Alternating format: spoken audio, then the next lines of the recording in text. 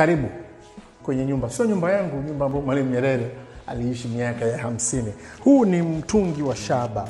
Mtungi huu uliotengenezwa kwa shaba iliyong'arishwa ulitumika kupozea na kuhifadhia maji ya kunywa kwa ajili ya familia na wageni. Mimi najua tumezoea mitungi ya udongo, sasa huu ukiugonga unasikia namna hiyo, lakini maji yalikuwa yanawekwa hapo. Ukiachana na huu mtungi ambao unajua mitungi unaifahamu, kuna kitu kingine ambacho pia kinanishangaza sana, ni hii hii ni microwave wanasema.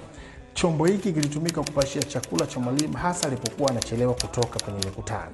Sasa microwave nyumbani kwako, unajua unaingiza, unawasha umeme, hii unafanyaje? Haya ni maua maua haya yalitumika kama mapambo katika nyumba hii miaka ya hamsini. Yametengenezwa kwa mti mgumu na katani, kisha kupakwa rangi nyekundu na kijani. Endelea kunifuata katika nyumba hii ya Mwalimu Nyerere.